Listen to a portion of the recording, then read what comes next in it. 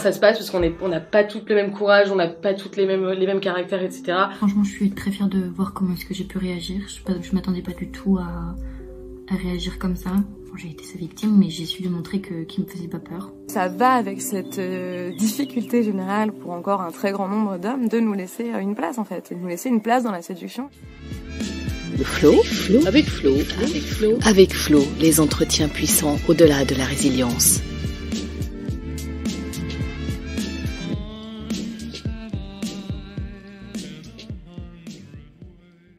Bonjour Amandine. Bonjour Florence.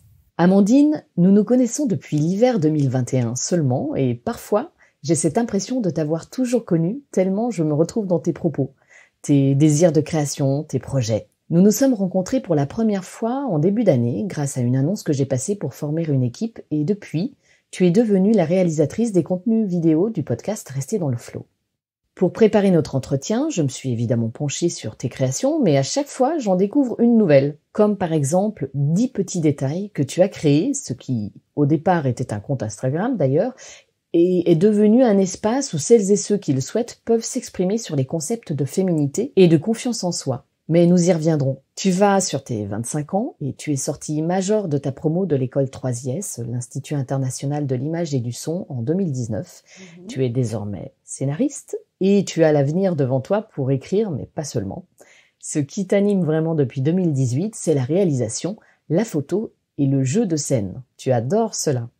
Tes deux premiers documentaires, que l'on peut retrouver notamment sur ton site web, d'ailleurs en parlant du loup, portent sur l'adoption, avec la web-série L'œil des cigognes, dont l'association La Voix des Adoptés était partenaire, que je vous recommande vivement d'aller voir d'ailleurs, euh, cher ami auditoris.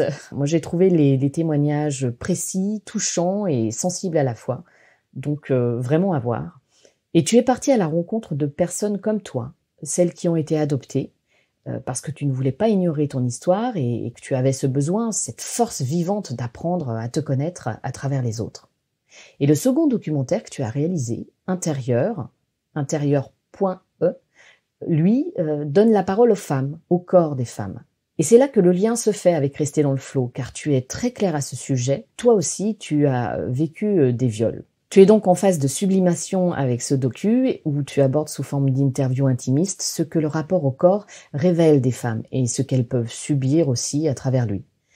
Au final, ce qui m'a le plus intrigué chez toi, c'est ta manière de te présenter. Tu dis être ré alisatrice.siliante. Peux-tu nous parler de ces différents rôles que tu endosses? Il y a celui de l'enfant adopté, donc ayant une souffrance touchant à, l'abandon, euh, la résiliente ou en cheminement dans sa résilience euh, de euh, la jeune femme traumatisée sexuellement, et il y a la créatrice, celle qui sublime. Donc quelle est la place de cette créatrice vis-à-vis des traumatismes qu'elle a vécus et qu'elle surmonte actuellement? Ah, déjà, merci pour cette présentation. Ça fait toujours bizarre d'entendre quelqu'un nous décrire et, et ça renvoie du coup une image euh, que moi je ne vois pas encore, je pense. donc pour parler un peu plus des projets, L'œil des cigognes, j'ai pu la réaliser, donc là parce que c'est une série, juste après mes études. J'avais du coup envie de créer quelque chose mais je ne savais pas exactement quoi. Et puis en fait, ça m'est un peu tombé dessus comme ça. Il y a une amie qui m'a relayé une annonce en me disant il cherche, euh, enfin la voix des adoptés recherche des personnes pour écrire des, portraits. Et euh, moi, j'ai proposé de faire des vidéos et ça s'est transformé en série documentaire. Et pour intérieur, bah ça s'est fait pendant le premier confinement chez mes parents où je me suis dit j'ai envie de créer quelque chose. J'ai besoin de parler du corps des femmes parce que moi-même j'étais face à bah, pour la première fois, on était tous du coup enfermés avec soi-même et je me suis dit le projet intérieur a vraiment du sens pour moi parce que euh, bah, je, suis obligée d'être face à moi-même donc je pense que c'est le cas pour beaucoup d'entre nous et euh, j'ai demandé à des amis de témoigner avec moi sur euh, la vie de leur corps en fait enfin le parcours du corps dans tous ses états mais malheureusement, du coup, on, est plus parti sur bah, les traumatismes de ce corps. Et on s'est rendu compte encore une fois de plus que bah, chacune de nous a vécu quelque chose de, bah, de tragique vis-à-vis de son corps. quand ça se passe parce qu'on on n'a pas toutes le même courage, on n'a pas toutes les mêmes les mêmes caractères, etc. Franchement, je suis très fière de voir comment est-ce que j'ai pu réagir. Je, je m'attendais pas du tout à, à, réagir comme ça. Je pensais que j'allais bégayer, euh, que j'allais me faire toute petite et au contraire, j'ai su euh, j'ai su lui montrer que, que je serais pas sa j'ai été sa victime, mais j'ai su lui montrer que qu'il me faisait pas peur. Ça va avec cette euh, difficulté générale pour encore un très grand nombre d'hommes de nous laisser une place en fait, et de nous laisser une place dans la séduction. Si on se révolte pas, on passe pas à autre chose comme ça. Comme plein d'espaces publics, une réappropriation est nécessaire pour qu'on puisse toutes et tous prendre le métro en toute sérénité. Et donc, euh, j'ai créé ce site web d'ailleurs en parlant du loup.net il y a quelques mois. J'ai eu envie de me présenter comme ça en tant que réalisatrice résiliente. Ça me permet d'avoir de la force et de me dire que je vais y arriver et enfin j'ai lu aussi des petites choses sur la loi de l'attraction, comme quoi il faut dire les choses euh, comme ça tu les obtiens. Bon, ça, ça a un lien un peu ridicule, mais j'aime me présenter comme ça parce que les blessures euh, m'accompagnent au quotidien et j'ai pas envie de les cacher, j'ai envie de les porter avec moi, de ne pas en avoir honte et au contraire, euh, je pense que aujourd'hui, on est beaucoup plus dans euh, démocratiser bah, les traumatismes comme toi tu le fais avec rester dans le flot, traumatisme mais aussi euh, manque de confiance en soi, souffrance mentale. On en parle de plus en plus sur les réseaux sociaux ou enfin, dans les médias. Moi, ça me plaisait de me présenter comme ça en disant bah je suis pas une réalisatrice, je suis plus que ça, j'ai quelque chose à dire. Il y a de la matière. Voilà, il y a de la en matière. Tout cas, c'est de la matière qui te construit aussi en tant que réalisatrice. Mhm. Parce que euh, c'est vrai que je me dis, bon sang, si j'avais à 20 ans eu ce que les jeunes femmes d'aujourd'hui vous avez avec euh, les réseaux sociaux, mm. avec ce droit à la parole que vous vous donnez, que vous prenez, hein, je ne sais pas comment j'aurais euh, vécu ma résilience. J'ai tendance à dire beaucoup plus rapidement. C'est pour ça que j'encourage les, les, femmes comme toi, ou même les hommes, hein, à aller à prendre cette parole et en faire quelque chose à construire avec parce que je pense que c'est euh, peut-être 10 ou 15 ans de vie euh, de vie et non de survie de gagner. Alors forcément tu t'en rends pas compte aujourd'hui. Tu peux comparer avec toi euh, ton parcours de résiliente quoi. Mais c'est ça, et surtout me dire si à 20 ans, quand j'étais à mes cours de théâtre, quand je passais les concours théâtre, ou quand j'étais dans des courts métrages, ou que j'écrivais aussi des scénarios, si je ne m'étais pas sentie obligée de me cacher, parce qu'en fait, on se cachait en permanence. Complètement tabou. On était en survie et caché. Donc cette libération qui est en train euh, de, s'effectuer, elle est primordiale. Elle est, elle est juste énorme. On s'en rendra compte dans euh, 50, 70 ans. Bah, justement, là, on a le nez dedans. Il y a plein d'ouvrages qui sortent. Tu vois des documentaires qui parlent de ça. Et euh, on a un peu noyé. Et je pense que les gens se disent, ouais, mais c'est c'est un peu une vague comme ça. Elles ont, elles ont besoin de s'exprimer, puis ça passera. Mais en fait, euh, c'est que le début, quoi. Ça concerne bien plus qu'on ne le pense aussi les hommes. Que beaucoup d'hommes euh, sont euh, victimes ou ont été victimes. Pour l'instant, ils n'ont pas encore beaucoup pris la parole. certains la prennent, mm. Mais c'est encore une minorité. Donc ça, dans, dans les 100 prochaines années, je pense que c'est quelque chose qui potentiellement peut se démocratiser. Plus on donnera de droits aux femmes, et plus les femmes continueront de les prendre, plus les hommes sur tous ces aspects-là pourront avancer aussi et, reprendre leurs droits aussi. Mhm. J'avais plein de questions et plein de, de choses en tête en ce moment. Je me disais que là c'était peut-être le moment d'y aller vu qu'avant c'était vraiment vu que j'étais une adolescente je pensais pas trop à ça là maintenant j'ai beaucoup plus de questionnements en tête qui me viennent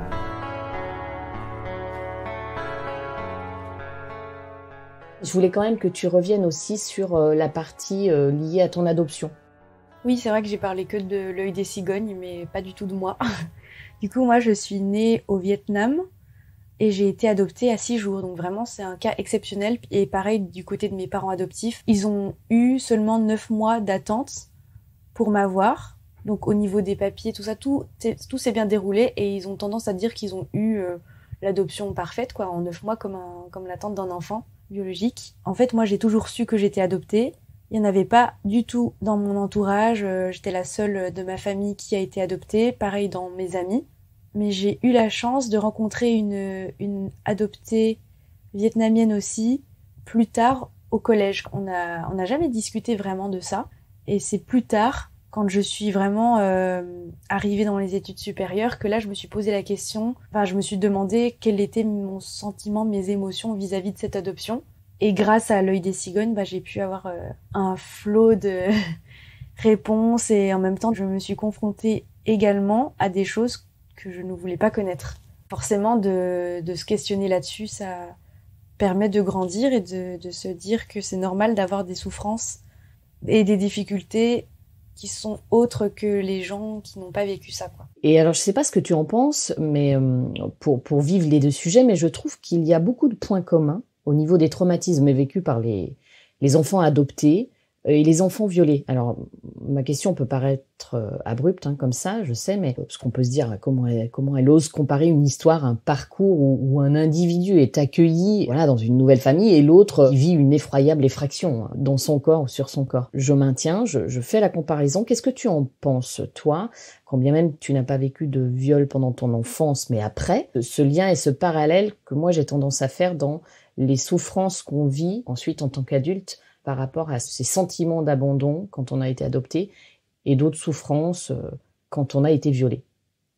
Bah, je pense que tout ça, ça a été mélangé après les événements, après euh, avoir été violé, après avoir subi des viols, plutôt, je dirais. Pourquoi cette différence entre avoir été violé bah, et avoir, avoir subi des euh, avoir été violé, ça implique que, que moi j'ai fait quelque chose alors que avoir subi des viols, ça c'est ma psychologue qui m'a dit ça et je trouve que c'est vachement bien. Avoir subi des viols, du coup, ça implique que c'est l'auteur qui t'impose quelque chose et pas toi qui étais là et que. Enfin, bref. D'accord, que... dans la première, tu participes de, dans la seconde. Ouais, euh... tu n'as rien demandé. Enfin, oui, une mini subtilité. Euh, j'ai été, comme euh, on peut dire, j'ai été au cinéma, j'ai été violée. Euh, D'accord. Pas... Et oui, subi... ça, ça sous-entend une action de ta part, voilà. alors que l'autre, tu es passive. Voilà, c'est ça. Passive parce que tu, tu ne peux passive. rien faire, tu es dans la sidération, tu es Mhm. c'est passive pas au sens j'accepte. Ah Oui, oui, oui. Je préfère le préciser, Oui, oui. ça va mieux en le disant. Voilà, bah, je trouve que cette, euh, cette euh, modification de phrase, elle est super importante. Elle a changé pas mal de choses d'ailleurs dans ma vision. Euh, du coup, j'étais là, ah oui, je n'ai pas été, mais j'ai subi. Mais encore aujourd'hui, je fais euh, l'erreur de, enfin voilà, de dire j'ai été. Euh, du coup, est-ce que là, le, c'était Est-ce que tu fais la de part des choses entre les, les émotions ressenties, voilà, comme étant en lien avec ton adoption, et les émotions en lien avec ton corps? J'ai l'impression que c'est un peu comme des, des couches. Il y a cette, euh, ce socle un peu d'abandon de base. Et ensuite, quand il y a eu ces viols, donc oui, ça a vraiment déstabilisé ce socle qui de base n'était pas très stable, euh, en rajoutant une couche d'abandon et de rejet. Oui, ça a été mélangé et ensuite, euh, grâce à des thérapies, bah, j'ai pu trier les deux euh, aspects de ma vie. Donc l'adoption, c'est quelque chose. Il y a des dysfonctionnements dans ma famille et ça, ça n'est pas du tout lié au fait d'être victime parce que forcément après les viols que j'ai subis, tout a changé dans ma vie, ma manière de percevoir euh, mon entourage, mes amis du coup, euh, ma famille, les hommes. Et j'ai compris que voilà, ça c'était la partie viol. En gros euh, voilà, c'est classé, c'est pas à cause de, mes blessures d'abandon. Quand bien même enfin franchement, il y a tellement de subtilité je trouve que le, sentiment d'abandon, il peut être tellement fort que dans les relations amoureuses aussi, ça crée des dysfonctionnements.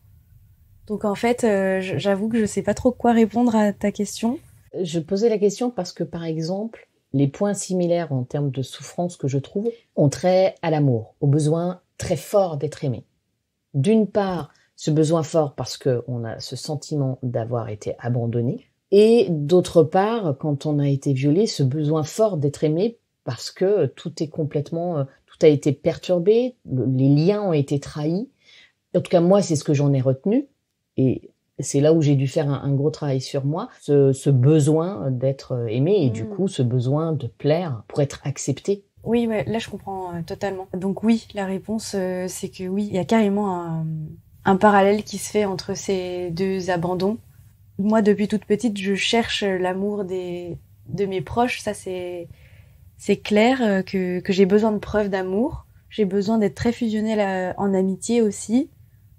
Mais euh, enfin aujourd'hui, je trouve que j'ai passé un cap et je me sens beaucoup mieux toute seule. euh, donc j'ai pas besoin des autres, mais avant vraiment j'avais besoin de cet amour constant quand j'ai subi ces viols. Après, oui, clairement, j'étais en totale désespérance. Enfin, je, je cherchais euh, quelqu'un à qui me raccrocher. Donc, j'ai tout de suite été avec quelqu'un. J'ai enchaîné les relations. J'avais besoin de me sentir aimée et revalorisée parce que je me sentais salie, en fait. Donc, j'avais besoin qu'on me prouve le contraire, mais j'arrivais pas à me le dire moi-même. Bonhomme, mon putain, c'est moi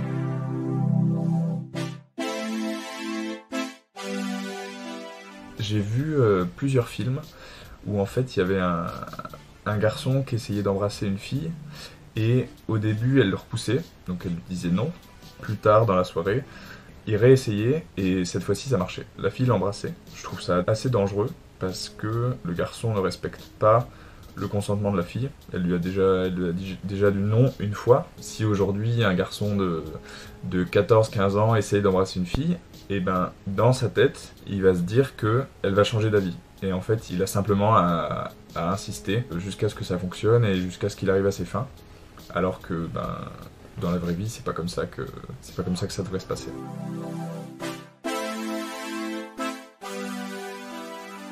Est-ce que tu veux en parler de, ou est-ce que tu peux nous expliquer finalement les, les- le contexte? D'où ces viols, euh, comment est-ce qu'ils sont arrivés ou par qui ou voilà le contexte ou pas, c'est vraiment comme tu veux. Mhm. Alors moi j'ai eu un souci en fait euh, quand j'ai fait mon premier documentaire, j'avais parlé de cette histoire et l'auteur s'est reconnu donc avait un peu protesté parce que c'est un homme. hein.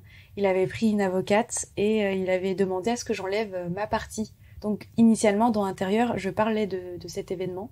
Donc en fait là, ça je pense que je peux le dire, je suis en pleine procédure judiciaire et donc euh, je pense pas pouvoir parler euh, de, de détails vraiment. Mais tu es allé porter plainte. Oui, je suis allée porter plainte euh, en mars 2020, mais les faits se sont passés du coup euh, en 2017. Après, euh, je peux pas trop en dire plus, Mm, mm. mais c'était quelqu'un que je connaissais, quelqu'un que j'estimais et qui était dans mon cercle proche. Enfin, et après le contexte, j'ai pas trop envie de d'en parler, mais un jour, Bah oui. si jamais c'est réglé, franchement, je veux bien euh, t'en parler et tout, euh, parce que cette histoire, elle me.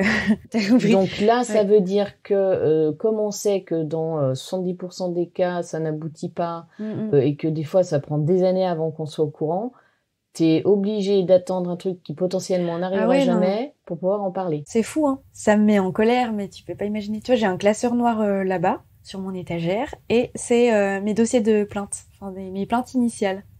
Je les garde ici, ça me saoule de les avoir ici, mais euh, je sais pas combien d'années ça va rester là. Disons que avec cet homme, il y avait un projet professionnel, oui, en commun. Bah, cette personne s'est servie de, de mes capacités d'écriture pour s'immiscer dans ma vie intime. Et quand j'ai rompu avec mon copain de l'époque, déjà il y a eu un baiser forcé et que j'ai pas maîtrisé. Et ensuite, euh, il avait insisté à ma porte en, en tambourinant à 2 heures du matin parce qu'on avait l'habitude de se voir tard. Donc ça, c'est déjà étrange.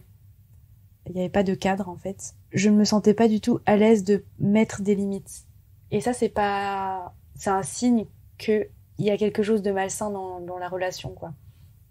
C'est ça, c'est, Je- c'est- tu n'arrivais pas, c'était pas, il me fait la cour, bon, je sais pas si je veux ou pas, mais potentiellement oui, mais c'est dans un cadre personnel, alors que là, à la base, le cadre est professionnel et qu'il est en train d'être éclaté et qu'à la base, c'est quelque chose que tu ne souhaites pas éclater, Mhm. ce cadre professionnel, tu ne souhaites pas le mélanger avec ta vie intime et avoir une histoire, une relation. C'est quelque chose qu'à un moment donné, tu as pu lui dire, écoute, on bosse bien ensemble, mais je ne veux pas que ce soit plus. Euh, Point donc, barre. euh, une fois, il y a eu aussi un geste très déplacé où euh, il m'a donné une fessée, quoi, comme on peut dire dans le jargon, lors d'une une sortie professionnelle aussi.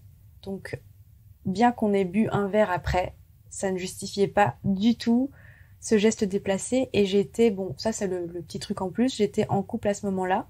Et donc, à la fois, je culpabilisais pour mon copain de l'époque, alors que moi, personnellement, j'ai juste subi la chose.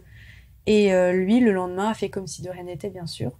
Donc en fait, ça me mettait dans une position où, non, mais peut-être que j'en fais des caisses, euh, c'est pas si grave. Donc en fait, il a immiscé ça au fur et à mesure euh, des, des mois de travail. Au final, la violence ultime qui était le viol est passée comme ça, comme une lettre à la poste, dans mon cerveau en fait. Comme si bah, il s'est autorisé lui-même à faire des petits gestes, voilà, un bisou, enfin un bisou, un bisou forcé, enfin bref, je sais pas comment appeler ça parce que pour moi bisou c'est joli donc euh, non, c'est pas pas ça. Il y avait cet aspect je joue le garçon euh, bienveillant, je joue ton confident et à la fois je vais être euh, le prédateur et celui qui va te casser et qui va aussi casser ton estime de toi. Enfin, à la fin de, mes études, j'étais au plus mal. Je devais monter sur scène, par exemple, euh, parce que du coup, j'étais majeure de promo. Je devais faire un discours. J'avais juste envie que ça se termine. Je le, voyais dans la salle. J'avais envie de mourir, vraiment. Et pareil, euh, quand on a présenté le fameux projet, cette personne, enfin, il ne m'a pas euh, convié sur scène. J'étais à l'écart maintenant. J'avais été utilisée, j'avais été salie. Et en plus de ça, il fallait que je disparaisse. Faut pas que ça se sache. Parce que je, l'avais confronté, je lui avais dit un an après, ce que j'ai vécu ce soir-là, j'estime que c'est du, c'est un viol. Et il m'avait retourné le cerveau en disant euh, qu'il était fier de moi d'avoir euh, initié l'œil des cigognes. Donc, qu'est-ce que ça vient faire ici? J'étais talentueuse, que je trouvais certainement mes réponses. Donc, en plus, à jouer un peu le mec qui sait tout euh, de ma psychologie et à dire que lui en faisait encore des cauchemars de cette soirée, que c'était affreux. Donc, en fait, à, à essayer d'être empathique vis-à-vis de lui. Il se faisait passer du coup pour la victime. Il en fait des cauchemars, il est suffisamment mal. Sa copine l'a quitté, mais pas pour cette raison, mais plein de, de, de choses qui retournaient contre lui. Et du coup, c'est ça qui a été difficile dans ma guérison. De me dire, ah, mais peut-être que je lui ai fait du mal, alors que, enfin, c'est moi de base qui vient juste pour le. C'est ça qui, c'est que Ouais, lui n'a pas vécu une effraction oui, dans son corps. ouais, Il l'a commis. ouais. Et il utilise le fonctionnement qu'il a fait subir à l'autre pour lui-même. Il se le réapproprie. Et comme cette technique n'avait pas marché et que j'ai fait mon projet intérieur, la deuxième fois, il avait, il était passé par quelqu'un en menaçant. euh, ce projet intérieur euh, devait être euh, relayé sur un magazine, un, bah, un webzine. Du coup, il en a été informé par je ne sais qui, et il avait menacé la journaliste que je connais très bien en lui disant Amandine ment. Je ne comprends pas qu'elle salisse les femmes qui ont vraiment été victimes. Donc la première technique qui était d'être en semi-empathie avec moi en disant oui moi aussi j'en fais des cauchemars là c'est passé à des menaces donc tu vois vraiment le fonctionnement d'un manipulateur mais je suis assez contente du coup d'avoir appris à repérer ce genre de personnes. C'est la seule chose que je retiens de positif de, ce truc horrible. Et pour le second viol du coup euh, bah, je l'ai subi un an après.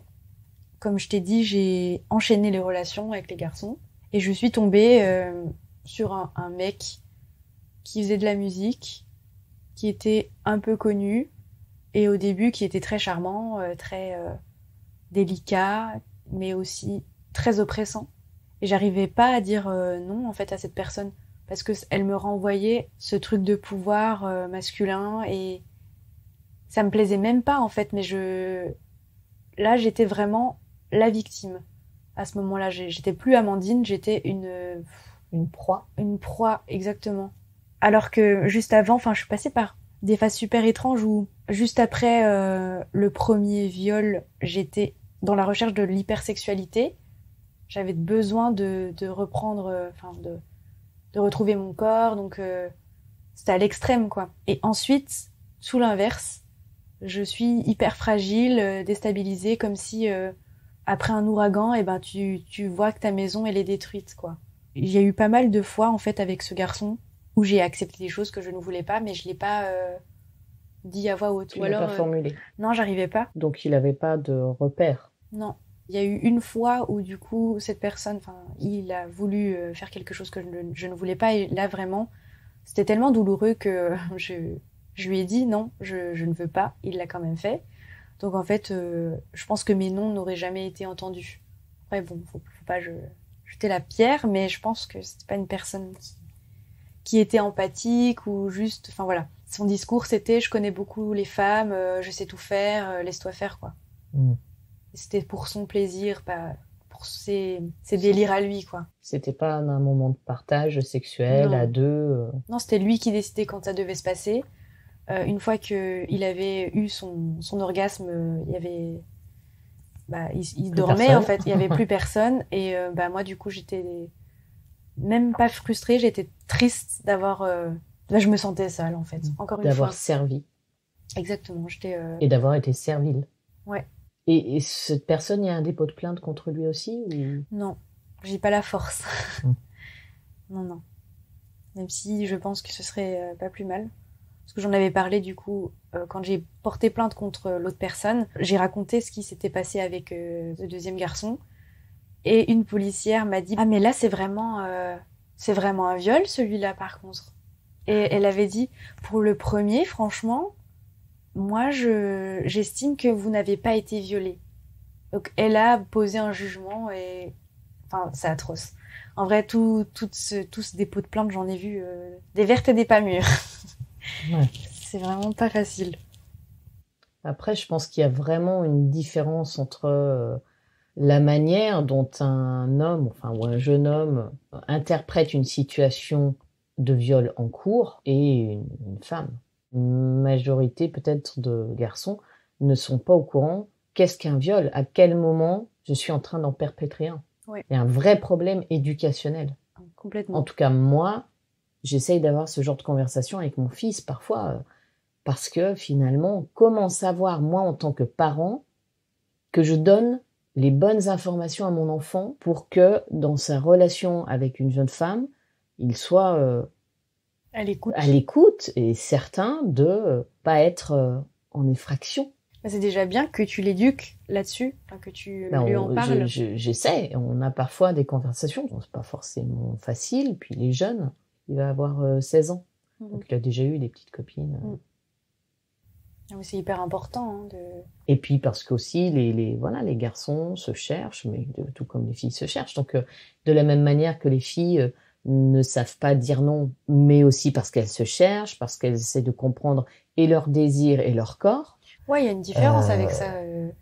Tu peux très bien essayer parce que tu veux tenter quelque chose et puis au final ça t'a pas plu, mais t'étais très bien dans le moment. Enfin, t'étais en- à l'aise avec ton partenaire. Alors que si c'est imposé, là oui, enfin, Ah, ça passe de l'autre côté, quoi. Coach à domicile, le conseil bien-être de nos experts. Aujourd'hui, eh bien, je vous propose de vous donner quelques conseils à pratiquer pendant l'amour. Quand je dis pendant l'amour, peu importe que vous ayez des sentiments ou non, on s'en fout. Après tout, si vous avez envie euh, d'un- d'une relation euh, furtive, pourquoi pas, mais ça n'empêche pas euh, d'être attentionné, d'avoir un petit peu de bienveillance et de respect envers l'autre. Alors, conseil numéro un, ne pas vous forcer à faire quelque chose où vous ne vous sentez pas à l'aise. Vous n'êtes obligé de rien, vous n'avez pas de compte à rendre, vous n'avez rien à prouver, que vous soyez un homme ou une femme. N'oubliez pas qu'avoir un rapport sexuel, c'est avant tout prendre du plaisir, être dans l'échange. Je trouve que quand euh, on apprend aux, aux jeunes filles qu'elles vont avoir un copain, on leur dit pas euh, vous allez pouvoir vous épanouir sexuellement, vous allez découvrir les orgasmes, vous allez euh, peut-être coucher avec des femmes. On leur dit le prince charmant arrive, il va tout faire et vous allez rester en étoile en fait. Enfin, ça va être. Il y a un vrai problème d'éducation bah ouais. sexuelle. Et quand j'entends par exemple des podcasts aujourd'hui sur l'éveil sexuel des femmes, notamment un podcast qui s'appelle Entre nos lèvres que tu connais, mais on se rend compte que ça n'est pas du tout le truc des Disney et des machins et arrêtons du coup de, de faire des films américains là-dessus ou des, des films français sur euh, l'ambiguïté, oui, non, ah, elle veut pas, mais du coup euh, c'est sexy quand une femme veut pas. Non. En tout Enfin, cas, euh, mais- en tout cas, l'approche d'une sexualité plutôt claire et en lien avec la réalité n'empêche pas le fantasme, n'empêche pas euh, le désir du prince charmant, euh, n'empêche pas le romantisme. Oui. Donc je pense plus on est proche de la réalité et de dire euh, oui, la sexualité existe avec la découverte de l'amour, mais oui, la sexualité existe aussi sans découvrir l'amour, sans être amoureux, mais en découvrant son corps et celui de l'autre, en étant Mhm. dans l'échange et le partage de cette découverte, euh, pas forcément en étant amoureux, en ayant des sentiments amoureux pour l'autre. Oui, ça existe aussi, et et c'est pas euh, mal ou sale. Je veux dire, euh, après c'est toute l'éducation religieuse et toute la culture religieuse, quelle qu'elle soit, qu'il y a derrière. Il y a toutes sortes de sexualités. Il y a euh, pas forcément de, de sentiments amoureux dans la sexualité. L'un n'empêche pas l'autre, que les deux sont existent, qu'on peut les découvrir dans sa vie, en fait, Mhm. vivre ces deux formes, et puis j'en oublie plein d'autres, plein d'autres, et qu'avant tout c'est l'écoute et de l'autre et de soi qui est importante et qui devrait primer. Mhm. Mais ça, ça s'appelle un monde parfait. Mais Ouais. je suis pas Et sûre que ça, coup, ça euh, existe un jour. Du coup, en surface aussi, donner la possibilité aux femmes d'être euh, plus coquines, quoi. Enfin, je sais pas comment dire. Enfin, ça, ça change maintenant. On en parle de beaucoup plus du désir féminin. Euh, D'exprimer leur désir. Oui, voilà. Donc, euh, C'était caché pendant des années. bien sûr. Elle était juste là, elle attendait que ça se passe, quoi. Celles qui ne les cachent pas, qui ne les répriment pas, sont des salopes ou des prostituées. Mhm. Voilà. Ou On en a encore je- là, c'est vrai qu'on en des, des, ou des artistes. Mais absolument pas une Des, femme euh, lambda. Enfin, et le jugement de valeur, et donc euh, être une salope, euh, les moments où j'ai euh, les hormones qui remontent, et donc du désir et de l'envie euh, sexuelle, euh, et puis euh, une semaine après être une frigide parce que mes hormones ont chuté, euh, que je vais avoir mes règles, mm. SPM, etc. Non, c'est juste biologique, physiologique, effectivement en partie euh, psychologique parce que les hormones influent sur cet aspect euh, de, de notre personne, mais non, je suis pas une salope parce que je vais avoir envie de mon compagnon ou de ma compagne. Non, Mhm. c'est juste ridicule. Ouais. C'est censé être beau, quoi, de désirer l'autre. Bien sûr. Bien sûr. Qu'est-ce que tu mets en place pour dépasser ce, ce sentiment, voire euh, ces angoisses de mort qui prennent aux tripes? Est-ce que, hum, est-ce que tu as des tips à donner aux jeunes femmes ou, ou aux hommes qui se retrouveraient dans tes propos euh? En gros, comment gères-tu euh, tes peurs et tes angoisses maintenant? Bah, si tu veux que je te donne des petits exemples d'angoisse euh, du passé, Ah oui. avec mon carnet journal intime. Euh, Là, c'est du coup le- la première page de ce carnet, c'est en février 2018. Et donc, moi, j'ai subi euh, le viol en 2017. La première phrase, c'est j'aimerais être capable d'être toute seule, célibataire, qui s'en fout des mecs, qui s'en fout ou plutôt qui n'a pas envie de coucher avec quelqu'un. Donc on sent que déjà, la première phrase, c'est la, la sexualité. Et je sais que ça, ça a été chamboulé, mais à un point... euh, Voilà. Depuis que je ne suis plus avec le garçon avec qui j'étais à l'époque, c'est devenu un tourbillon, un vacarme sans fond ni forme. Je vais tout écrire du début. Marrant de raconter la fin d'une histoire en parlant de ça comme un début. Le 18 novembre, j'ai écrit à mon copain de l'époque en lui disant que j'aimerais être un peu seule, prendre du temps pour moi, le temps d'un week-end. Après, je raconte euh, toute la mise en place de euh, la manipulation, etc. du- de ce mec. Euh, j'étais en stage à cette époque avec deux scénaristes, Adrien et Mathieu, et ils m'avaient conseillé de faire les trois pages du matin de Julia Cameron. Du coup, j'avais, je m'étais dit, allez, vas-y, je vais être scénariste, donc je vais écrire les trois pages du matin. Au final, ça m'a aidé à mettre à plat tout ce que je ressentais euh, vis-à-vis de cette agression. Au début, j'arrivais pas à dire que ça allait pas bien, donc je disais vite fait, j'ai une boule dans le ventre. Tu vois, tous les matins, Ouais. j'écris que j'ai une boule dans le ventre, et puis après, je dis bon, bah ça va parce que je vais faire euh, du shopping avec Clément, donc j'arrivais pas à me poser avec euh, mes émotions. C'est étrange, je me sens très souvent creuse et vidée, alors que j'ai vraiment tout pour me sentir heureuse. Nouvel appartement, un projet qui fonctionne, etc. Face it, voilà ce qui me trotte dans la tête, le mot face, qui considère un aplat des choses. Je suis gentille, je fais des machines à laver, je fais la cuisine. Là, je veux pas le dire parce que c'est très vulgaire. En gros, je parle de, de rapport sexuel, donc je, je fais l'amour, on va dire. Ça n'est pas normal que je me remette en question. Ça n'est pas normal d'être oppressée. Aujourd'hui, on ne sort pas, je suis fatiguée. Aujourd'hui, on ne fait pas l'amour car je n'en ai pas envie. Là, ce que je ressens, c'est de la colère. Je veux voir une personne, je veux rencontrer une autre, et sa copine aussi. Je veux sortir dans Paris avec une amie. Je veux de l'aventure. J'estime ne pas demander l'impossible. Je ne suis pas si exigeante que ça. Je ne suis pas constamment en train de quémander pour des rapports sexuels. Voilà, j'étais dans ma phase euh, consommation, où tout est chamboulé, t'as l'impression d'être que une machine à sexe, quoi. À une époque, je supplie. Moi, c'est vraiment Parce que euh, tu veux chaud, te réapproprier cette, cette démarche en disant c'est moi qui décide, Ouais. puisque c'est mon corps, c'est mon droit, et non pas euh, je subis. Mais j'ai eu peur de devenir agresseur à mon tour. De me dire, euh, est-ce que c'est vraiment mon désir ou c'est celui de l'autre? Ça, vraiment. euh. Et au niveau de, de- des tips, d'idées pour Bah, là, dans- dépasser. Dans, l'autre carnet qui est tout récent, j'avais fait. Bon, déjà aussi, je raconte euh, cette énorme boule dans la gorge, etc. Je mettais à plat que ça n'allait pas trop. C'était au début du confinement, donc euh, je me sentais mal. Et là, du coup, j'avais fait une petite liste de toutes les choses qui pouvaient me faire du bien. Donc sport d'intérieur, lecture, cuisine, dessin, bricolage et réparation. Ça, je me suis trouvé une, une passion pour le bricolage, tu vois, euh, faire des meubles et tout. le montage, du coup, tous les projets en cours, d'écriture. Le fait d'aller voir euh, des professionnels de la santé à la maison des femmes, ça m'a beaucoup aidé. Je me suis sentie vraiment bien accueillie. Les, les femmes savaient, enfin les, les professionnels savaient pourquoi je venais. T'avais pas besoin de dire bon, c'est un peu particulier, j'ai été violée. Non, t'as été accueillie dans une bienveillance euh, vraiment profonde, mais malheureusement, il n'y avait pas assez de rendez-vous. Moi, j'avais besoin d'un suivi limite toutes les semaines et j'avais des rendez-vous toutes les trois semaines. Mais du coup, j'avais rencontré euh, une sage-femme qui s'appelle Pauline, qui était vraiment adorable, et euh, deux psychologues, une qui s'appelle Ornella et une autre qui s'appelle Stéphanie, qui m'ont beaucoup aidé dans mon chemin du coup de guérison. J'ai un peu tout fait pendant euh, cette, euh, cette période. Je suis allée à un groupe de parole de coups de femmes euh, victimes de viol. Et il y avait que des, des femmes de 50 ans. Donc ça m'a fait mal de voir que, en fait, même à 50 ans, tu peux être dans un état pas possible à cause de ce que tu as vécu. Et des histoires de vie horribles. Cet esprit de sororité m'a fait quand même du bien. Il y a une énergie vraiment très bizarre qui se passe, enfin qui émane de ces endroits même si c'est pas forcément positif, ça m'a quand même fait du, bien. Mm. Ensuite, euh, j'ai marqué shopping, parce que moi, quand je vais pas bien, j'aime bien euh, faire les boutiques. Revoir des films, écouter des musiques qui me font du bien, faire des playlists carrément de, musique positive et même avec des paroles qui, qui sont prenantes et qui, qui font du bien, quoi. Les amis, très important. Juste prendre un café, même si t'as as vraiment envie de pleurer et euh, de ne pas du tout parler, bah, juste de voir des amis, de voir leur petit visage, ça fait du bien. Si on en a la possibilité, je sais que changer euh, de cadre, ça fait du bien. Prendre soin de soi, euh, de sa peau, de son corps, être douce avec soi-même.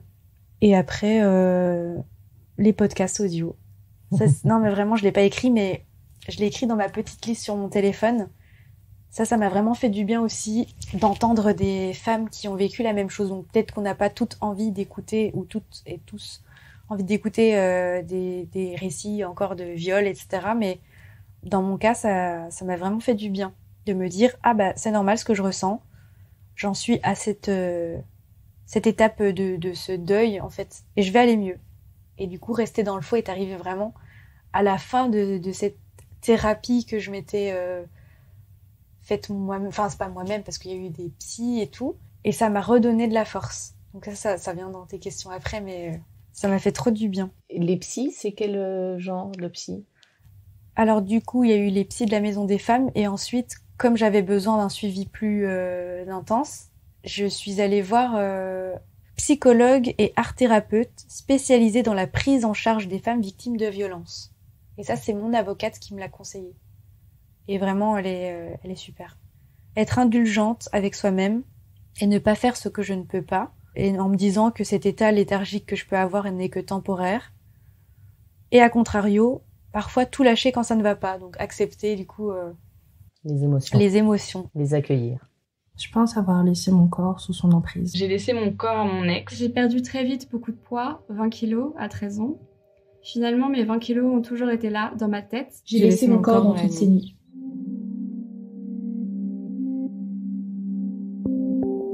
J'aimerais parler du coup de la, la sublimation. Donc là, il y, a, il y, a, tout ce que tu as mis en place pour euh, dépasser, affronter euh, ce vécu et ces traumatismes par différentes thérapies, de l'écoute, de l'attention euh, vis-à-vis de toi-même. Et maintenant, j'aimerais qu'on aborde la, sublimation dans laquelle tu évolues actuellement.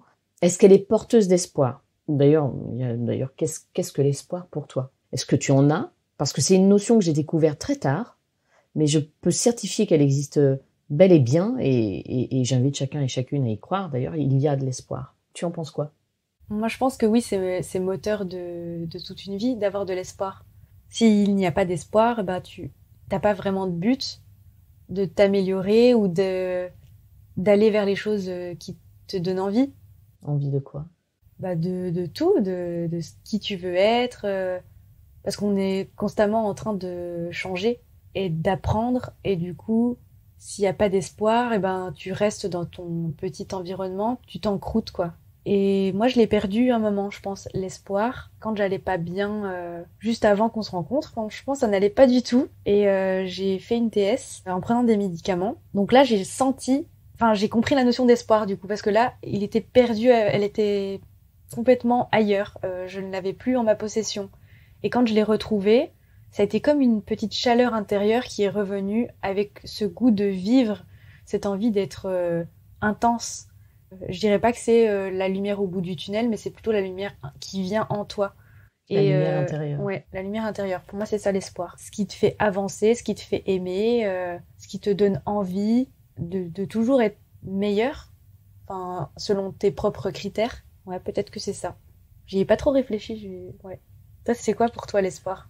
Mais moi, je le voyais pas comme ça. Alors que cette lumière intérieure, elle m'a porté, elle m'a aidé. Mm. Mais elle se traduit aussi à travers euh, Bernard et ses euh, Mm. différents sens que j'ai, capacités, on va dire. Mais je ne comprenais pas cette notion d'espoir ou ce besoin d'espérer dans la vie. euh, D'abord parce que j'étais quand même en survie et que il me semble que je faisais un lien entre espoir et faiblesse.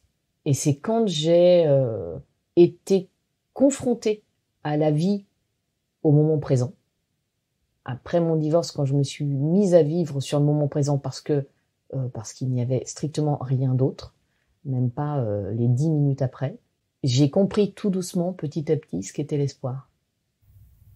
En réalisant des petites choses de plus en plus, ou juste te dire que tu étais vivante dans cet instant. Voilà. Mm. C'est j'étais vivante dans cet instant et que et que euh, euh, ça c'était formidable et j'ai saisi la notion d'espoir à ce moment-là. Ouais, c'est drôle parce que ça, ça peut t'envahir d'un coup quand tu t'y attends le moins, quand t'es juste euh, en train de boire un thé, par exemple. Et là, tu as conscience que t'as un corps qui fonctionne, que, que tu vas pouvoir faire des choses demain et après-demain encore mieux. Ça, Ça m'envahit. Ouais, exactement.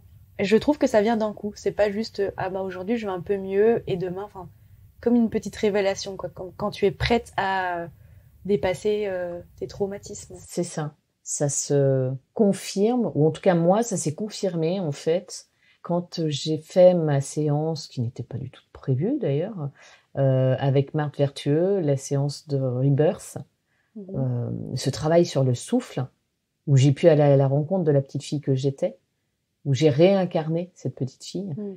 et où, où là, là c'est bon, de toute façon j'étais réunie, je ne faisais plus qu'une, donc euh, voilà, cet espoir était... euh, il y a toujours de l'espoir dans la vie.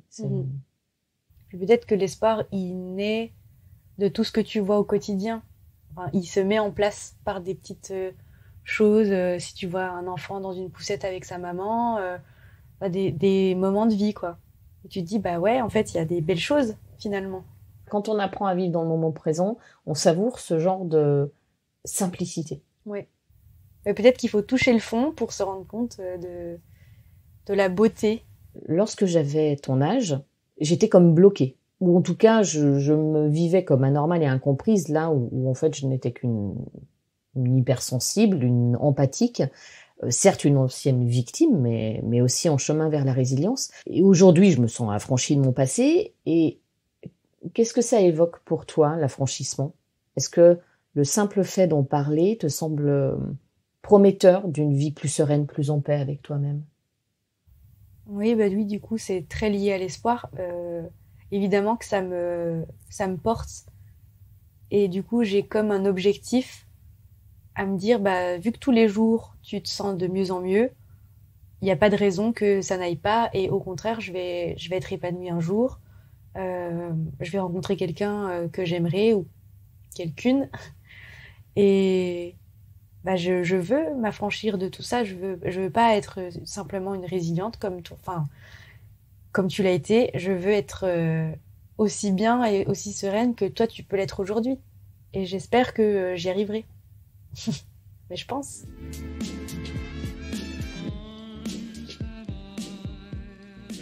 Amandine, qu'est-ce que cela veut dire pour toi rester dans son flot Rester dans son flot, pour moi, ça peut être comme un ajustement de ses capacités et des envies du moment.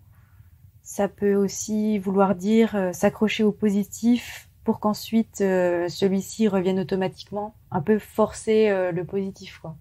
Le mot rester, il me fait penser au fait de continuer d'y croire. Donc l'espoir du coup.